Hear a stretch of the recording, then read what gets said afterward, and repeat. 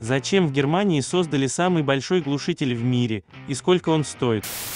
В Германии на полигоне технического центра оружия и боеприпасов Бундесвера, который находится в городе Мёпен, прошли испытания самого большого глушителя в мире.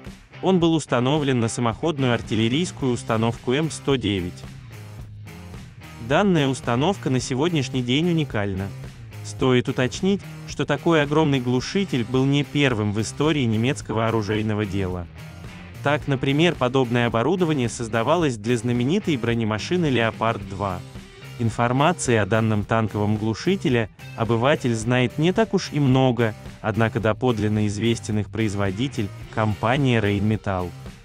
Интересно также назначение данного устройства – все дело в том, что гаубичные глушители не предусмотрены для использования во время боевых действий, поскольку в этом нет никакого практического смысла.